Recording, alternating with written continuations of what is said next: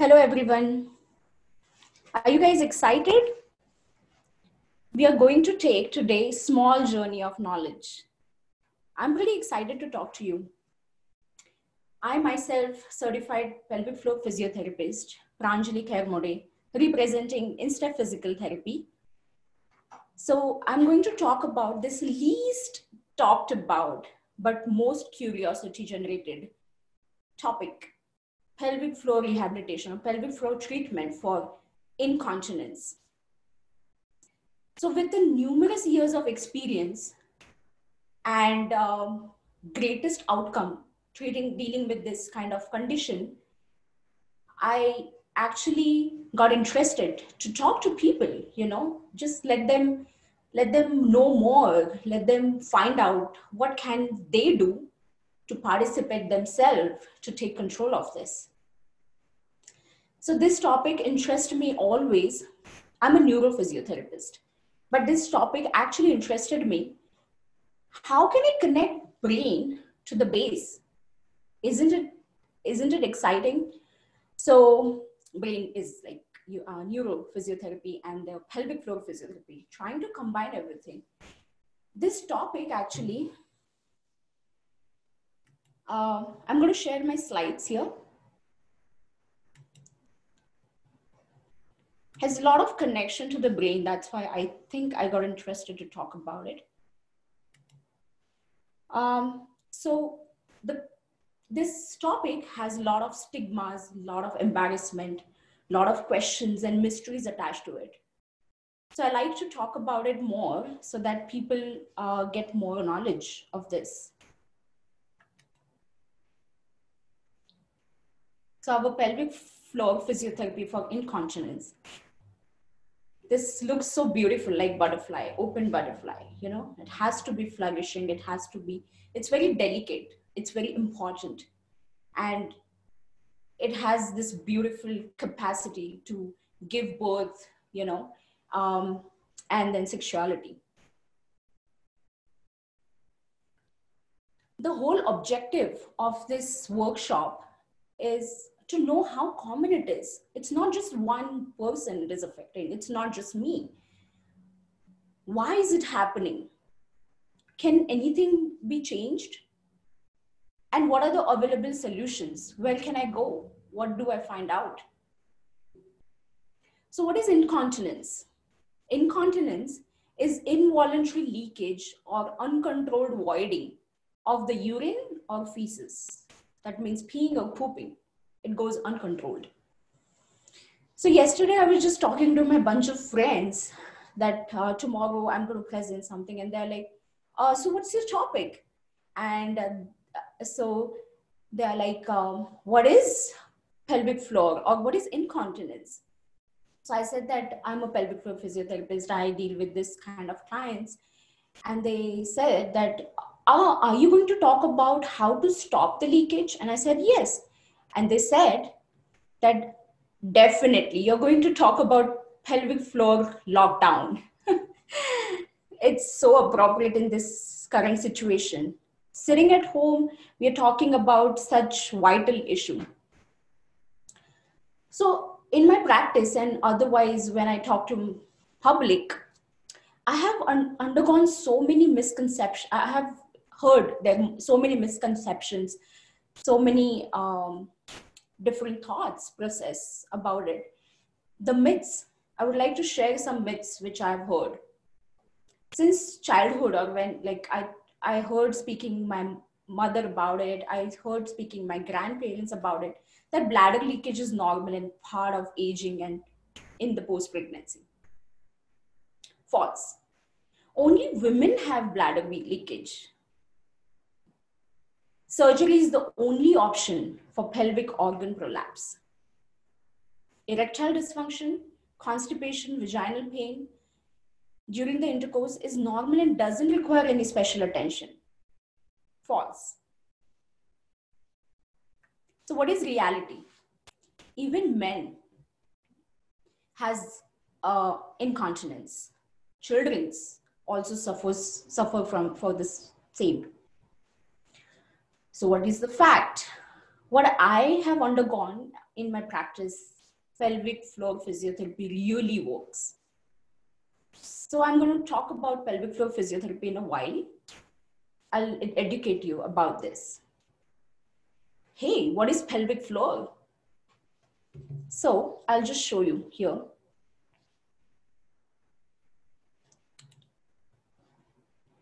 So if you can see, the pelvic floor is like a sling of muscle starting from the front bone to the back coccyx, your tailbone. And it actually goes like a trampoline from side to side of your hip bones, like your sit bones.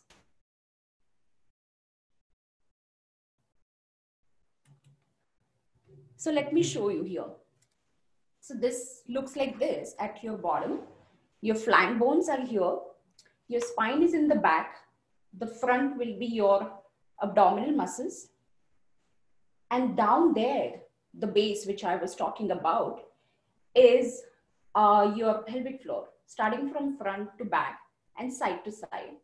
And it is nicely, nicely intervening muscles. You know, they actually very nicely intershapes between each other. And they have different openings. The front opening is for peeing purpose. Then there is opening in female's vagina. And the back opening is for fecal matter passage. Okay, that's your anus or rectum. So this is like nicely, if you see inside, there are different muscles intervening each other and they are nicely congruent to each other.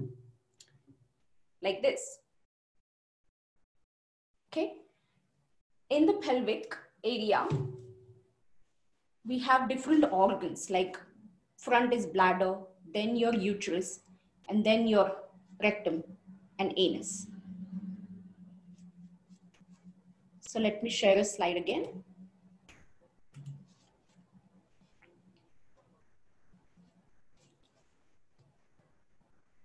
Yeah. So here it is, as we have already seen. Okay, the function, as I've already spoke, spoken about, it supports the abdominal and the uh, visceral contents and the pelvic organs. Then there is a sphincter, bladder, bowel. It stabilizes the abdominal pelvic girdle muscles. There are a lot of attachment of the muscles uh, in the front from the flank bone and there is a lot of attachment in the back also. So the, the lower spine I take into consideration into the pelvic zone.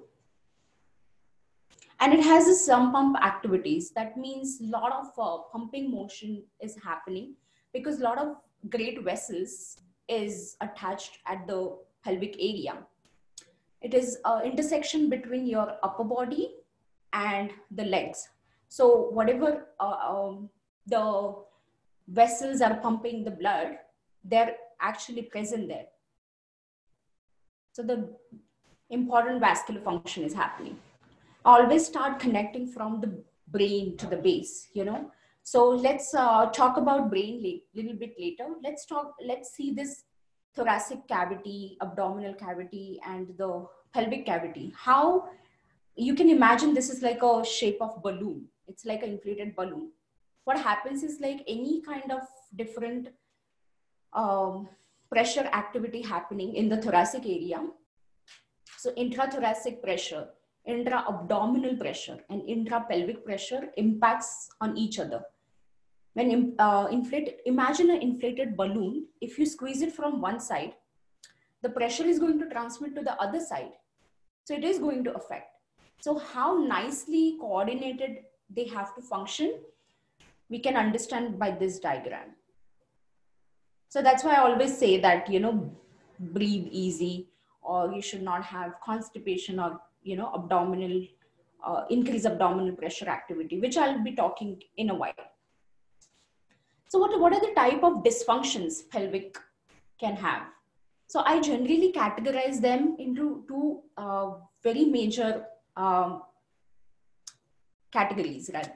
So one is hypotonic and one is hypertonic. So hypotonic means like laxity or doesn't have good tone or doesn't have good muscle um, activity. And hypertonic is again, it's very tight, constrained, and uh, again, not good function. So whenever the muscles are tight, they are also weak. But weak muscles are ill coordinated, right? So hypotonic hypotonicity is a major cause of incontinence. And then the pelvic organ prolapse. In hypertonic pelvic floor muscles, what happens is like because it's so tight, there could be multiple uh, trigger points, uh, multiple uh, tender points. And there are high chances of infection because the blood flow is not good and the area is quite constrained. It's not breathing well. And again, the overall uh, benign tightness. People who are sedentary, people who have restricted mobility, people who cannot, um, are wheelchair bound or something, or so those those muscles can be really tight, and there is no good function or good breathing or good circulation, good neurological activities are happening. So th- those can be categorized into this. What are the other dysfunctions? So incontinence, what we are focusing today. Pelvic pain, constipation, organ prolapse are the different variety of dysfunction, which maybe next time we can talk about. Uh, talk about. So incontinence. So I'm actually seeing there are different risk factors depending upon the age as the age progresses one out of three women has a risk of uh, having urinary incontinence or fecal incontinence pregnancy and the childbirth one in four women goes through this lifestyle and behavior uh, behavior like obesity limited physical activity smoking health conditions like stroke diabetes neurological problems so diabetes can increase the intravesical pressure and then uh, the fluid retention. So that can cause urgency kind of a uh, incontinence.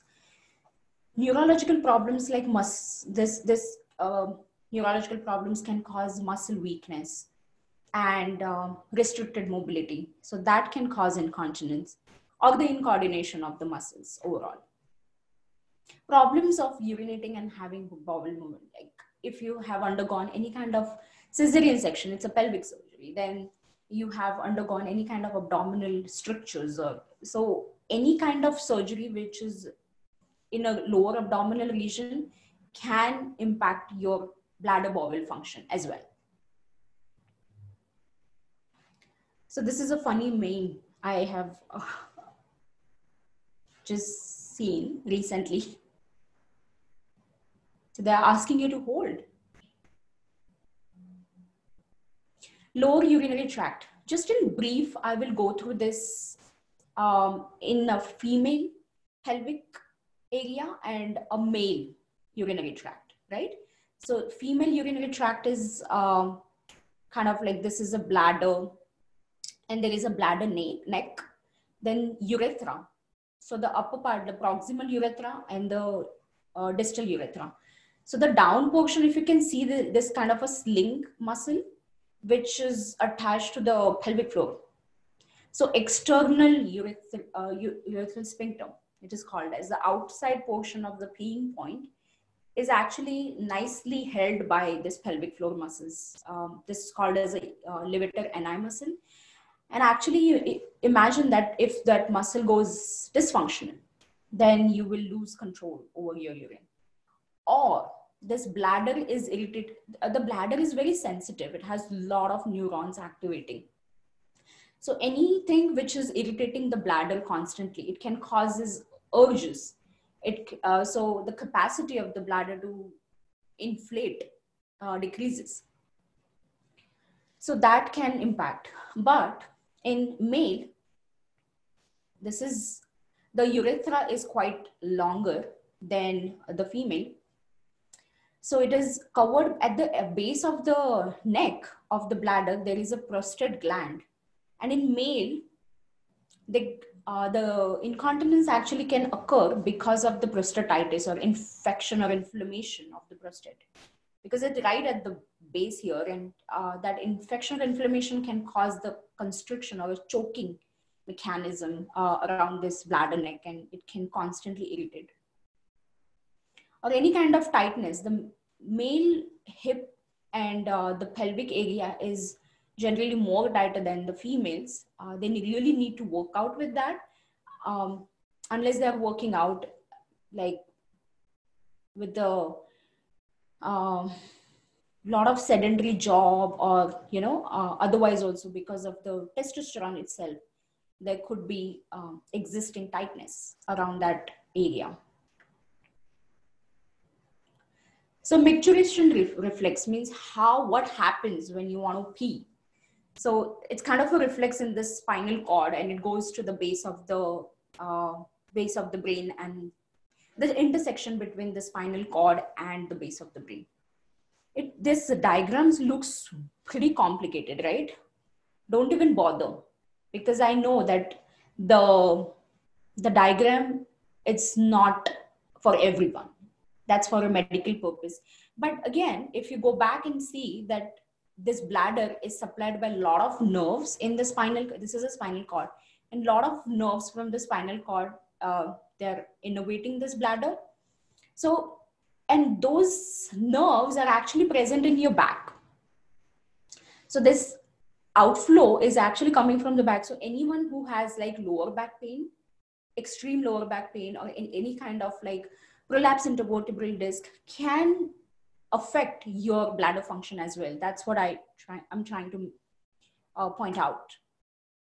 So that's that's one of the thing but it's just not the spinal cord you know it can it has a higher brain function involved as well. So what happens when you want to pee? Just don't go into complication you know. I like to put it into the simple words like it had either you will pee or you won't pee. So what happens? So when you feel like peeing uh, immediately the signal goes into the spinal cord and either first of all what happens is like your muscles wants to relax. Your the spinal uh, nerve comes in and wants to relax it first so that the capacity of the bladder increases. Generally at the um, capacity of 300 ml 150 to 300 ml you will feel like you want to go pee. But not necessarily. Your capacity you can increase. The detrusor muscle or the the flexible muscles of your bladder can actually store a lot of urine before you can find a socially acceptable place to go to washroom. So you can store the urine or you pee. So uh, for storage purpose, I actually would like to um, explain you that the sympathetic nervous system plays a major role in it and then why have I put stress? Because stress and sympathetic system are so much correlated, right? So when you're stressed out, when you're nervous, you want to, what happens is like there is an inhibition for the pain and you store a lot of urine inside, right? Or noradrenaline. This is a hormone actually, or it's a bio, sorry, it's a biochemical, which is generated when you're quite stressed. And um, that can cause a lot of storage in the urine. So you're not able to pee or hesitancy. When you go pee, I'm not able to pee properly because the, the function, the, the smoothness of the activity is not happening. And you contract, a lot of contraction happens in the down below, like pelvic floor muscles. So they, they become contracted. So you're not able to pee easily. For the peeing, you need a parasympathetic, that means a relaxation. And I always like to call it as like happy. You know, whenever you're happy, it's easy for you. It's so much relaxed out there that the normal coordination or the synchronicity happens very well, you know. And then dopamine, endorphin, and the serotonin is other neurotransmitters or they are the biochemicals in your body. They get released when you're happy or when you're like relaxed or when you're just enjoying or you know so basically this this is so much correlated. When you're relaxed and when you're like not under any nervous uh, you know high high point you can pee easily or it's well coordinated. I mean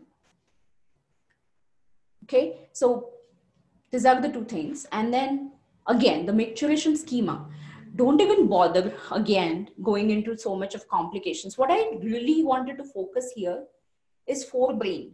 I, if you're reading in the center, there is a forebrain which actually modulates everything. So it's like a regulation, you know. So forebrain is situated in the front lobe of your brain, you know, and it has a micturition center or a continent center. So it generally decides the, it's a higher center. It's like a higher boss, right? So whatever is happening in down below is very, very, very uh, reflexively.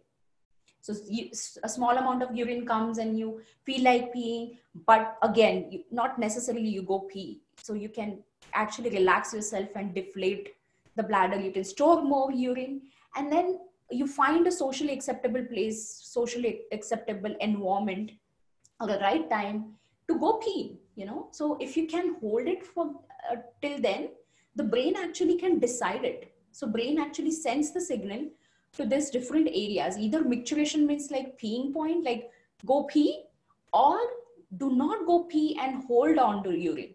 So it actually controls the pelvic floor muscles. This, those muscles are in voluntary co- uh, coordination or voluntarily controlled. So you have total control over it, right? What if you start losing the control? So this is kind of a nice mnemonic which I have encountered. Um, so delirium. Delirium means confusion, you know, so it's a diaper. Infection, okay, any kind of infection can cause irritation, inflammation, and lot of activity of the bladder. Atrophic vaginitis, that means when the estrogen level goes down in females after um, uh, menopause, then it can cause a lot of uh, tightness or irritation or you know myofascial structures or trigger points.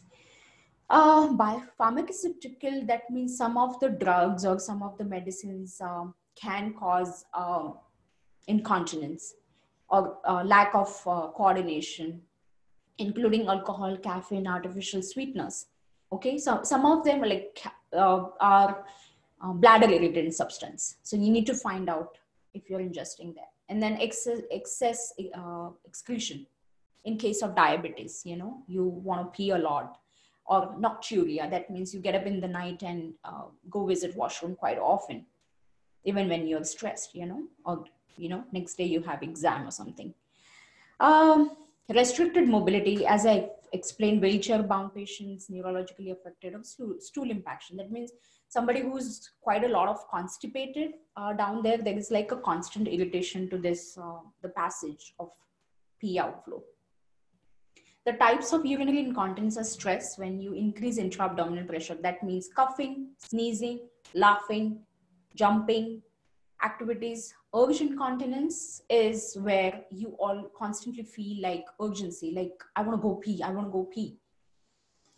So yeah with less amount of uh, urine storage also you can like inhibit that sensation out there. It, it, it can again um, can be uh, extra um, sensations or extra activity of the brain or it, it's extra activity of your bladder itself.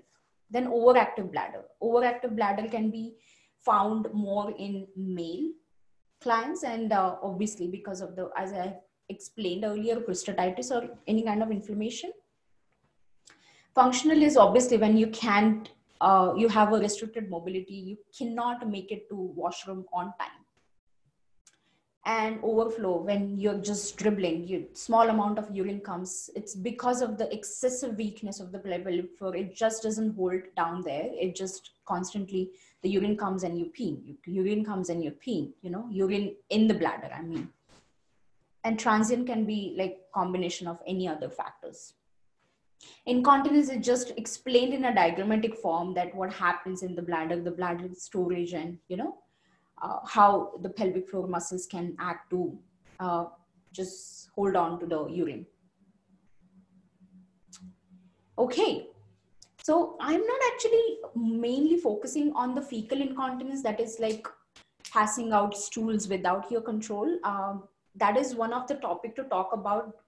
It is found, it's not much talked about uh, but yes, pelvic floor physiotherapy can help to diagnose and treat that kind of issues. It has a lot of, uh, uh, you know, again prevalent prevalence in the society mm, constipated people can be you know taken under uh, the umbrella of pelvic floor um, dysfunction or the pelvic floor rehabilitation can help them so the mass movement happens in the last part of the colon that is your gastric uh, sorry the descending colon. And then this is a sigmoid colon where uh, the fecal matter comes and stores. And this is a last part which is rectum. And the opening at the down below is anus. So it's well coordinated in general. So whenever the fecal matter comes and gets stored in the rectum you feel to go poop but again socially acceptable place you find that out and then you open the anus but what if the anus is very tight? What if your hip area is um, inflamed tight dysfunctional um, it's always tight and it's always hyper irritated or something? The fecal matter will not pass very easily. So again as i have explained earlier it's a part of pelvic floor dysfunction. And uh, yeah we can uh, actually deal with it successfully. So different physiological stresses on the pelvic floor it can be when you're nervous when you're anxious.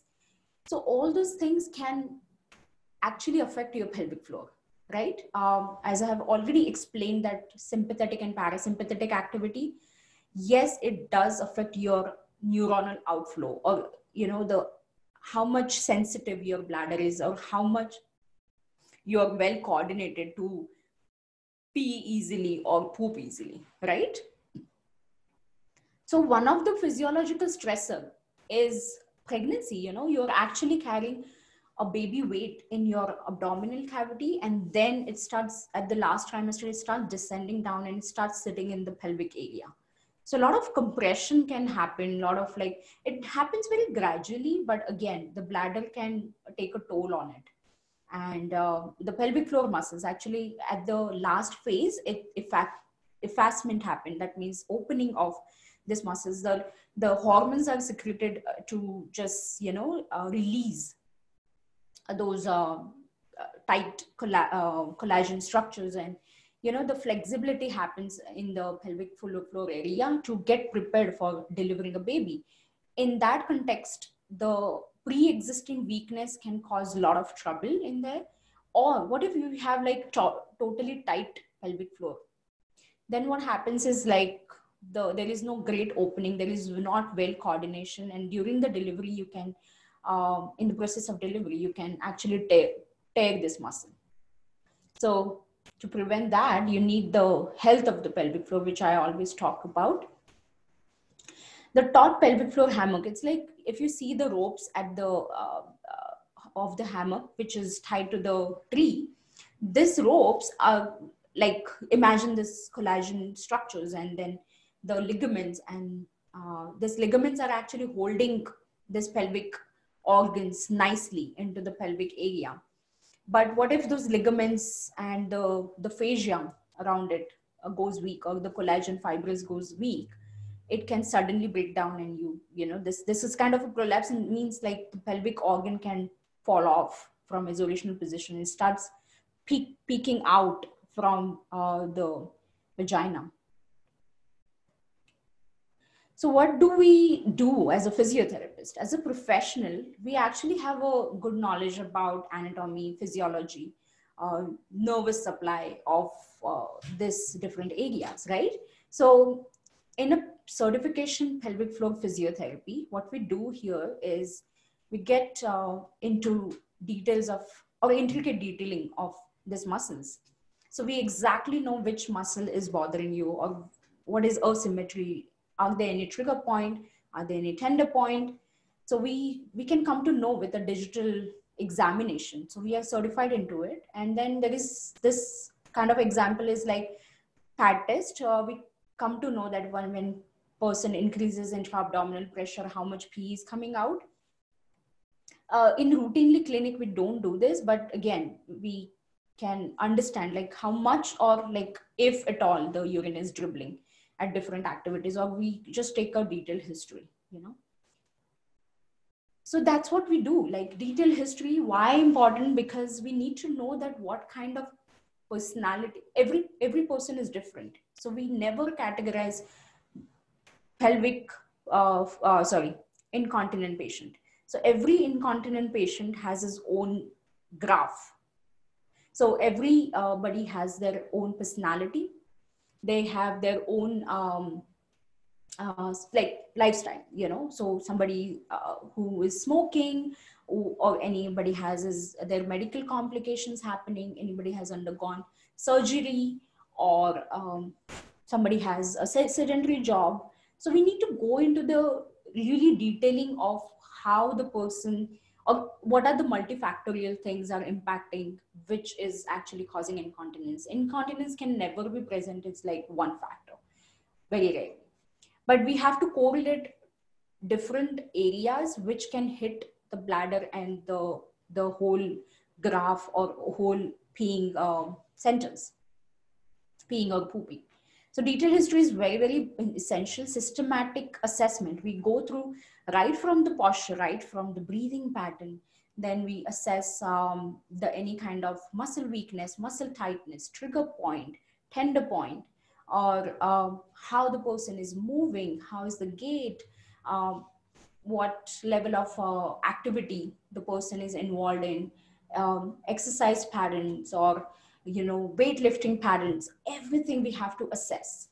Um, so that's what we do. Specific diagnosis. We have to come in, uh, into this specific diagnosis. We need to find out what is exactly the cause or uh, is it a prolapse what grade of prolapse prolapse means like uh, dropping down the pelvic organs and how they're impacting are they inflamed or anything which is um, systematically systemic, systemically bothering the person multifactorial correlation. That's what we try to like connect the dots you know from here and there. We actually make a graph of the person that okay this we have to look into it.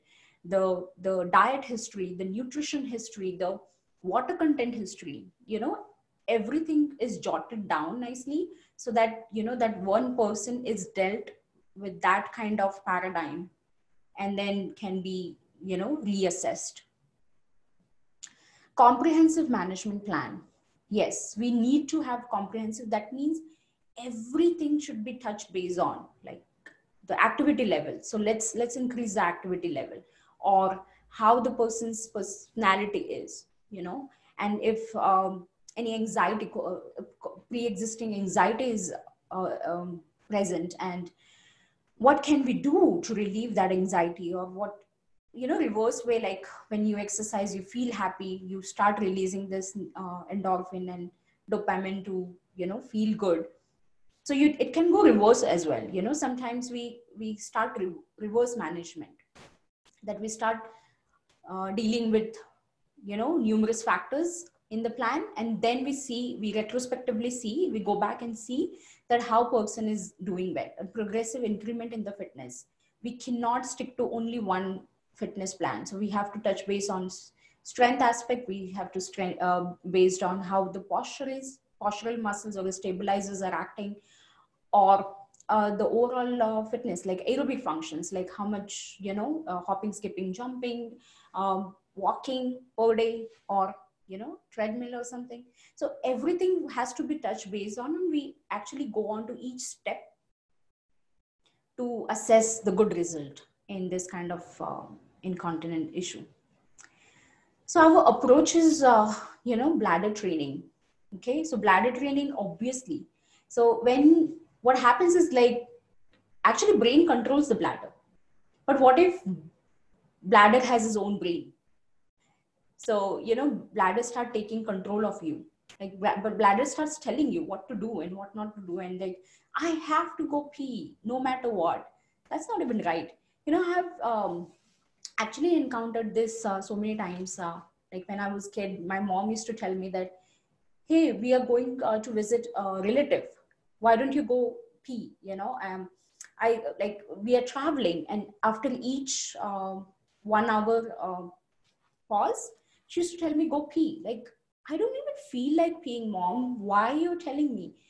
But it's kind of a detraining of the bladder. You actually, just in case, uh, going and peeing, determines the activity of the bladder. You're actually uh, giving a cry, crying baby a toy each time it's crying, and you're not even training the bladder to expand and release the pressure so that there, there is less of uh, extra neuronal activity at the bladder then we need to uh, maintain patient education is the first treatment what i believe uh, because once once somebody understands what is exactly going wrong with them they start taking control of it. So they have their own education pattern that okay i'm anxious okay i'm not breathing well or um, my muscles are weak. Now they exactly can make a graph of their life and they, they can actually uh, start dealing with all those factors and you know at the same time and then the good result happen bladder diary so we actually ask them to uh, maintain a bladder diary to understand that what is their frequency whether they're hesitant to go pee or are they peeing comfortably uh, how much they're drinking fluid or water, what is the water intake, or whether they're having any kind of bladder irritants like coffee or anything, coffee, tea. So we can start associating with what is exactly causing those triggers and what is exactly, you know, uh, causing a problem in their peeing or pooping issues. Schedule voiding. Yes, we actually ask them to um, this is kind of a treatment approach you know so schedule voiding is we are actually asking them to inhibit that sense extra sensory outflow that okay you know stop don't listen to the bladder each time you know and then you train bladder slowly that you can take multiple breaks um, you, you should not go each hour you can wait for a while one and after one and a half hour or something you have to go pee so your brain gets trained right and then your bladder gets trained improving diet, reducing bladder triggers. Yes, it's very much important uh, to avoid the extra triggers. So diet, nutrition um, is touch base on. Exercises. What are the benefits of exercises or what do we do in the exercise section, you know? So breathing, you know, as I said, that balloon, you know, consider the example of the balloon when you're breathing well, the intrathoracic or inside chest, whatever the lung capacity is, you're actually smoothing that out. You're not deep breathing or your shallow breathers or whatever the breathing pattern is, is going to impact your intra-abdominal pressure also, what is generated in your tummy. So, and then it will impact your pelvic floor function. So if you're uh, laughing, coughing, sneezing, um, you need to understand that what is exactly causing that outflow of urine, uh, why you're not able to control that. Uh, breathing can actually synchronous breathing can uh, make it uh, the peeing issue easy circulation you know so it improves your circulation overall circulation you know vascular supply and everything uh, relieves back pain when you exercise obviously the and the back actually sympathetic outflow like the nerves are in the lumbar area in your lower back area and then uh, the nerve actually is um, the perineal or pudendal nerve which is supplying the pelvic uh, floor muscles that exactly present around your hips and buttocks. So if you're sitting for a long period of time, if you're not having good back support or something, it's going to cause a lot of irritation of these nerves and they are going to act up.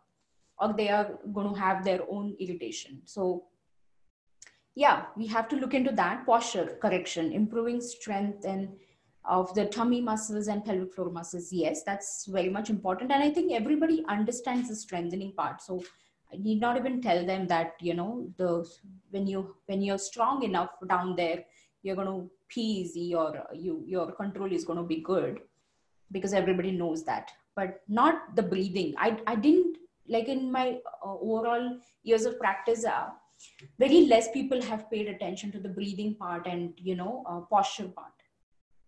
Aerobic fitness everybody knows that when you when you're fit enough the muscle contraction and relaxation ability that you know letting go ability is also better so overall you know nice uh, flow of those muscles and coordination is so much required for having a good peeing or pooping pattern yes we have already spoken about posture maintenance of good posture how beneficial it is uh, especially around this pelvic area So look into the spine, look into the uh, buttock area, look into the fitness of the hip area as well. The inner, the adductor muscles, the inner thigh muscles, if they are tight and uh, uh, dysfunctional, then a lot of pelvic floor issues are correlated with that. Researchers have already proven that um, as soon as you deliver a baby, you need to attend to your health as well. Many women forget to take care of themselves when they're recently delivered. So uh, their breastfeeding pattern, you know, the posture is maintained very well. They have a special hormone secreting. So when you're breastfeeding, actually you're healing yourself. So pay attention to the small details about that how well you're attending to your health so that you can recover well you have like six months time to recover very well to get the suppleness of the pelvic floor muscles and to get the health of the pelvic floor muscles so slowly and steadily you have to pay attention to that uh, we actually give a lot of feedback that what's going wrong with their uh, fitness if they're not uh, attending to the posture and everything the breathing pattern as i've already explained um, in my previous slides that yes, it's like a balloon pump, how you breathe very easy. So deep inhalation, deep exhalation, you know, or coordination of the breathing pattern can actually relax your muscles and, you know, the oxygen content of the, the myo, uh, uh, what you can say, hmm. the muscle contraction relaxation pattern is very smoothened out when you breathe well mom and baby classes obviously i like to take this kind of classes i have i'm certified into um, antenatal and postnatal uh, physiotherapy as well um, pregnancy related issues so what I, what I do is like uh, i try to educate my new moms that to not give excuse of just having a newborn and i don't have time to attend to my health.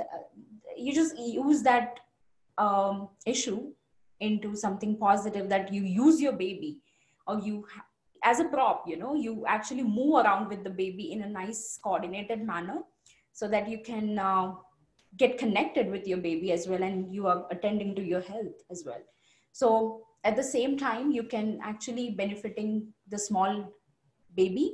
In a neuroscience we actually take i'm a pediatric neurophysiotherapist so i always take care of uh, you know baby's health also. So this kind of swinging motions can cause a lot of um, um, good activity brain activity in the kids and they actually are enrolling themselves to for the mom's fitness right? So it's a good connection formation um, yeah um, so benefits of kegels everybody has heard uh, heard about the kegel uh, who has devised a exercise protocol for strengthening of pelvic floor muscles. And uh, he said that contraction and holding it for uh, 10 or 20 seconds is beneficial. Um, and you have to repeat that cycle for two to three times. The benefits of Kegel exercises, not always, you know, the strengthening part is so important. So I actually touch, touch based on different aspect of those muscles. So relaxation of the muscle is also important. I always believe that length of the muscle is so much important to have a good strength of the muscle if you do not have a good flexibility of the muscles how you're going to have this kind of good coordination it's when when their muscles are tight they're dysfunctional they're not they're not listening to you so probably just strengthening is not useful but again so strength only when there is a weakness point and you're strengthening the muscle. It actually improves your sexual response uh, recover the physical stresses and uh, stress and childbirth and all those other things like vaginal muscle toning. You know it's like going to a gym and you know attending to your muscles and you know getting more fibers there. So it starts looking nicer and it tones up.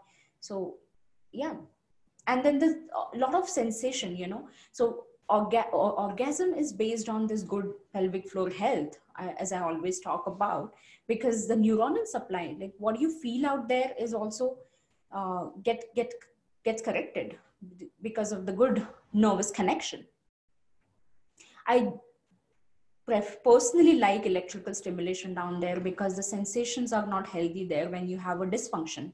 So any tight muscles cannot give you a good sensory supply right? So or any weak muscles doesn't have a good uh, neuronal connection. Or what if, you're post pregnancy the sensations are going haywire you know? So to just get it to normalize this kind of electrical stimulation actually helps. It's an intra vaginal or intrarectal uh, stimulation with the electrode and it normalizes the sensory pattern. If you have pain or uh, less of sense sensation or sometimes it's good to get a grip over the muscles.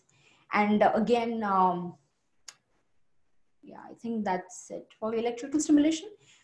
How about sacral plexus stimulation you know? So there are different ways of uh, stimulating the sacral plexus so that the dysfunctional uh, neuronal system around the bladder gets normalized.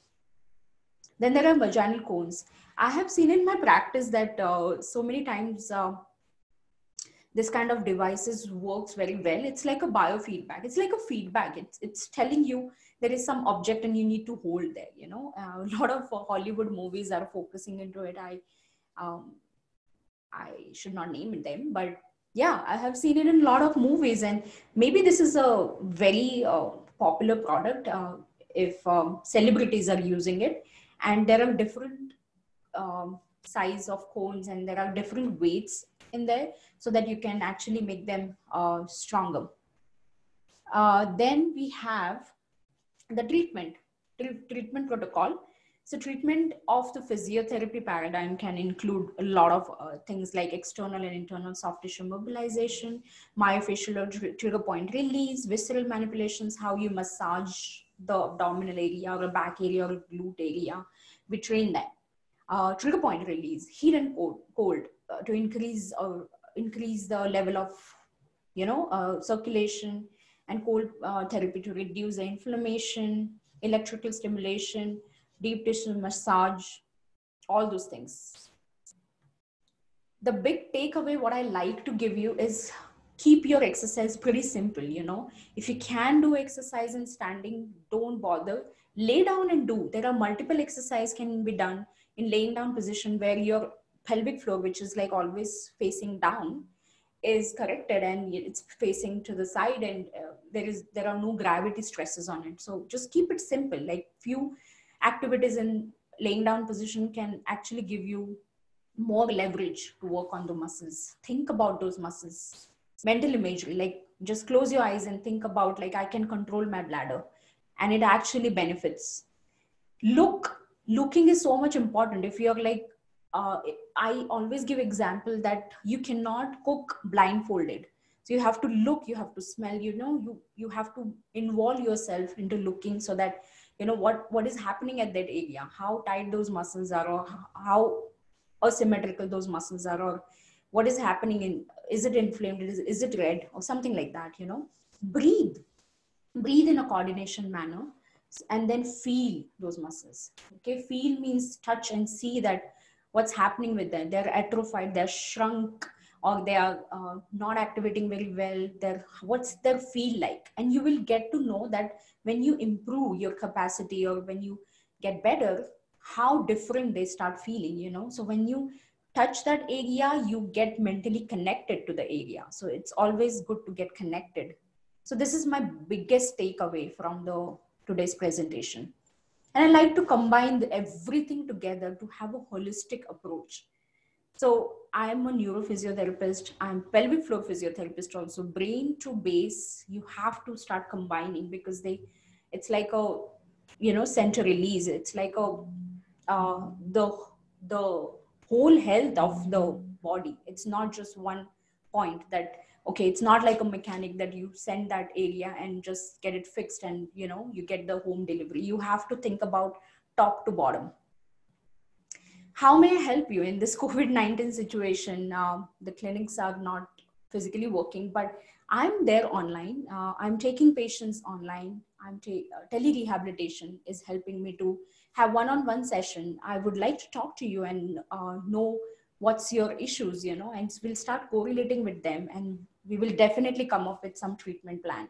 So there you are. And uh, thank you very much for your cooperation and your support and giving me your uh, such a valuable time. So i'm i'm planning to come up with a practical session where i'm going to work out with pelvic floor uh, exercises to relieve incontinence. We'll, we'll be starting to join hands and we're going to work out soon. So to book an appointment, I would like to welcome you all and your questions are also welcome right now. So that I would like to answer you guys uh, if you have any doubts about my presentation. But thank you. Thanks for your time.